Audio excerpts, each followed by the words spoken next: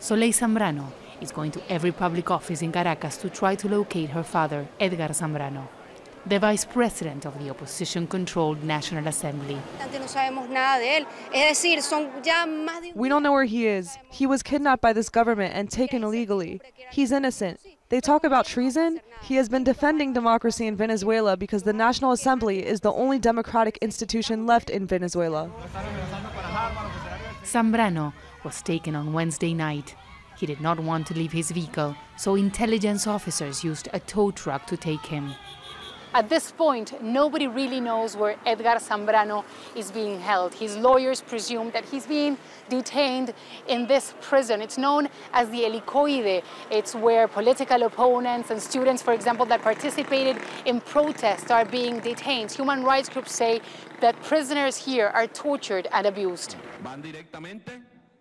The government controlled Constituent Assembly voted to strip of immunity to several opposition lawmakers.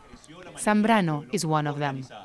Two others had to seek refuge at the Italian embassy, and another one is hiding at the Argentine embassy.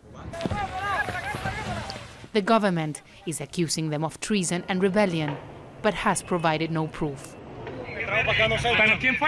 But it's not just lawmakers the government is going after.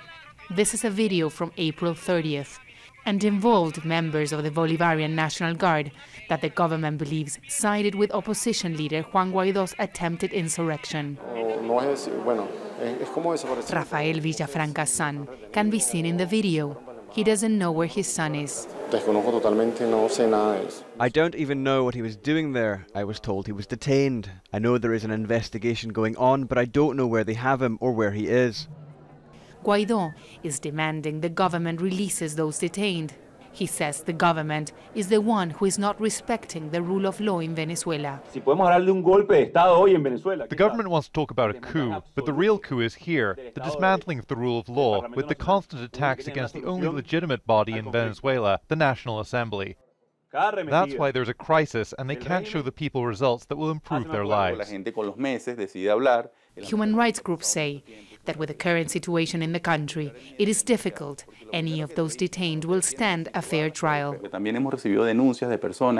We know there are reports of clandestine detention centers. They are not in regular prisons, and prosecutors are not demanding that those imprisoned see a judge within 48 hours of being detained. People are being abandoned, with nowhere to turn. NGOs say there are almost 800 political prisoners in Venezuela today. Prisoners whose future is uncertain so long as the institutions are controlled by the government. Teresa Bo, Al Jazeera, Caracas.